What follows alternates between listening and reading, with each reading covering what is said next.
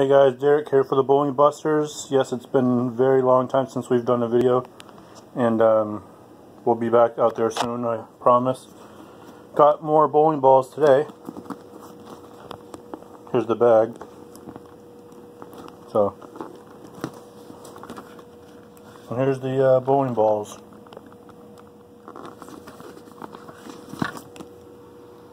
So yeah, these are what they all are.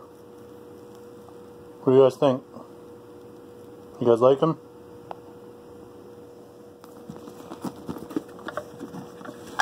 There's a divider inside the bag as well. Got these at a uh, thing called a bazaar, which is, I think, a flea market. Yeah, my parents picked these up today for me. So yeah, that's pretty cool. So I'm in the video here before my phone does a weird freeze. My phone likes to freeze when I do videos. I don't know why. So yeah. If anyone knows why the phone freezes while I do a video with my phone, let me know if you want. But yeah, these are the bowling balls I just got today. So I just wanted to show them off. So yeah.